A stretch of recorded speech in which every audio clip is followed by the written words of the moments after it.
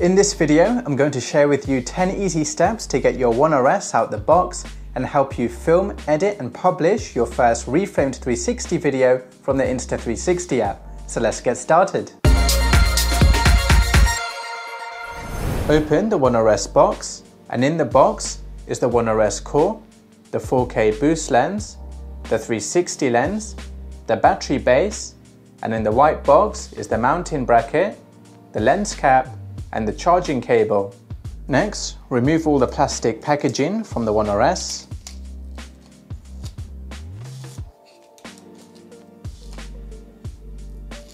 I highly recommend you put the lens cap over the 360 lens when you're not using it to protect it from getting damaged.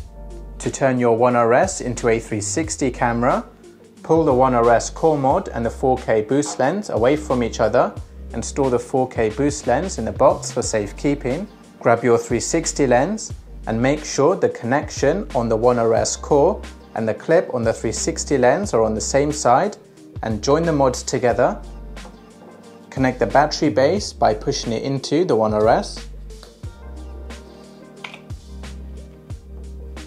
To open the mounting bracket, press the red buttons on either side of the case. Slot the 1RS into the mounting bracket.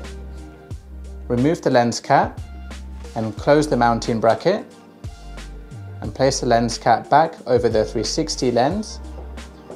Slot the tripod adapter into the 1RS mounting bracket and secure the tripod adapter in place using the thumb screw and now your 1RS is assembled as a 360 camera. The next step is to fully charge your One RS. So to do this, open the side door,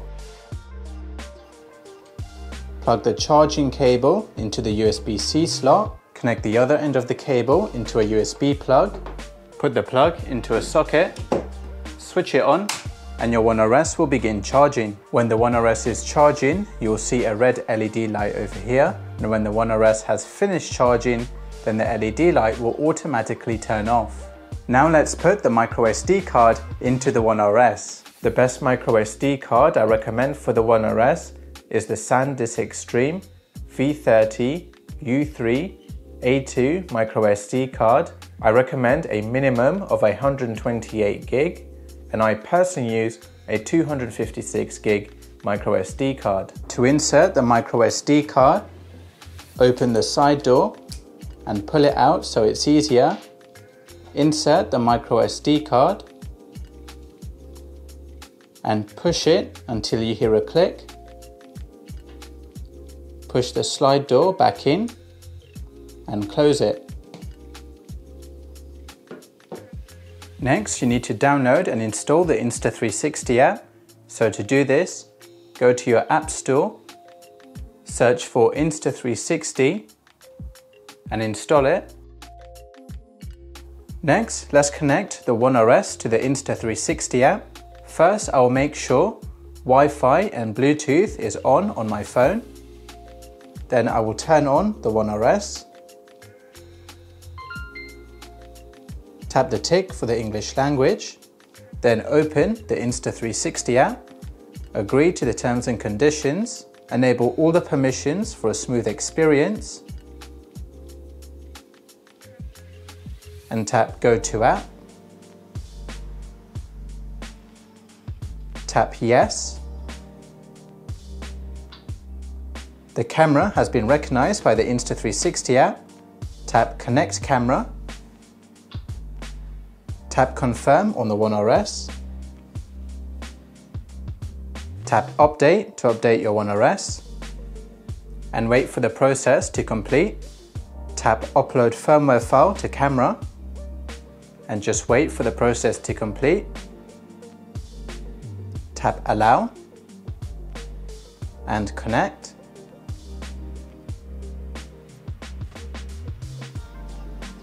Wait for the firmware update to finish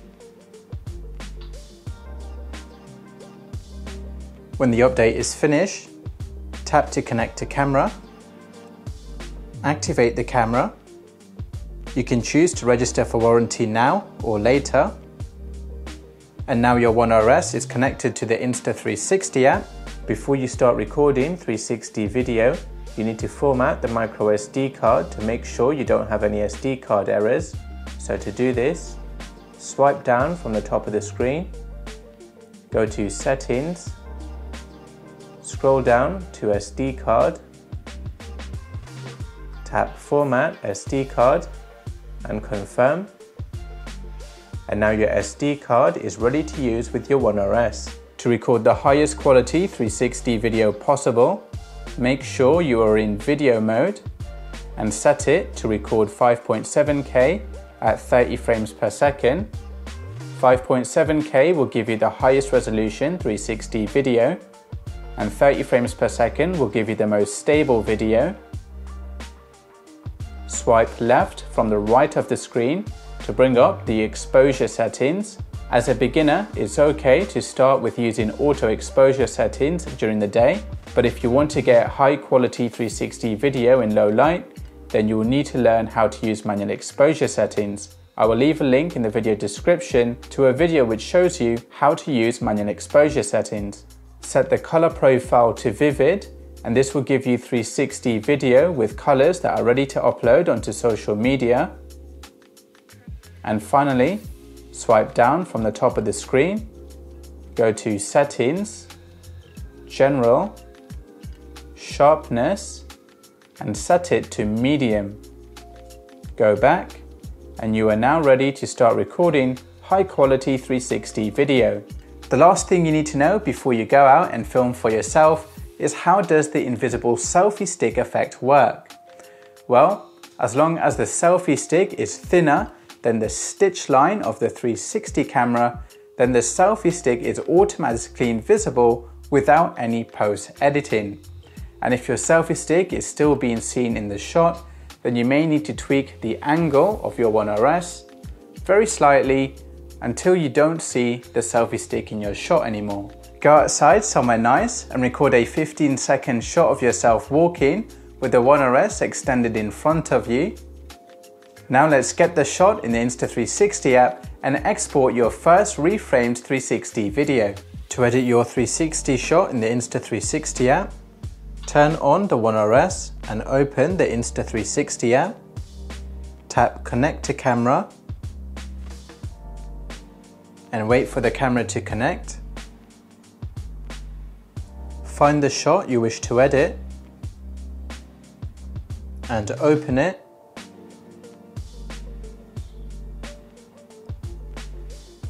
So here's a shot of me walking down a market. The first thing I'm going to do is trim this shot down to a 12 second shot. So to do this, tap trim, drag the left marker inwards to trim the start of the shot and drag the right marker inwards to trim the end of the shot and I will bring it down until the duration says 12 seconds and tap the tick to confirm. And now I have a 12 second shot. Next, I'm going to reframe the 360 video to look in the direction I want to show my viewers. So to do this, you need to add keyframes. Keyframes tells the app, this is what I want the video to look like at this specific point in time. So at the beginning of the video, I want myself in the middle of the frame. So I will add a keyframe here and in frame, I will leave the field of view as ultra wide to show off the background. I can change the field of view to narrow to zoom in, but I will leave it as ultra wide for now. So now the app knows this is what I want the video to look like at the beginning of the video. I want to maintain this view over the next three seconds. So I will reframe myself in the middle and add a keyframe here. Then in the next second, I want to reframe to look in the direction I am walking in and add a keyframe here. So now if I play this back, you'll see the 360 video spin in the other direction. And I want to maintain this view for a couple of seconds and add a keyframe here. And then in the next second, I want to turn this view into a tiny planet. So to do this, add a keyframe and in frame, change the field of view to tiny planet and I'm going to spin the tiny planet around so I'm on top. Tap update keyframe to save this view. And now when I play back the video, you now have something which looks like this.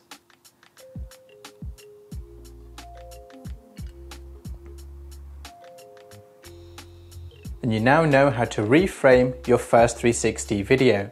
If you want to change the aspect ratio of your video, hover the white marker over a blank area, tap the aspect ratio and choose an aspect ratio of your choice. I will leave it as 9 by 16. To export your video in the highest quality video possible, tap Export, go to Custom, select the highest resolution, the highest bit rate, and tap Export. And now you know how to export your video in the highest video quality possible. Once the video has finished exporting, you can find the video in your phone album.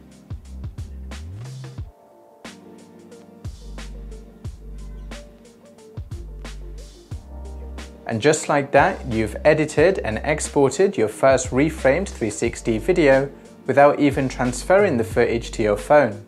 And that's it. If you found this video useful, then hit the like button, subscribe for more useful tutorials like this one, and if you want to master your 360 camera in no time, then check out the brand new Best 360 Academy. It's a set of online courses which will show you everything you need to know about your Insta360 camera and you also have access to my expert help and support on demand. Well, that's everything for today, and I'll see you in the next video.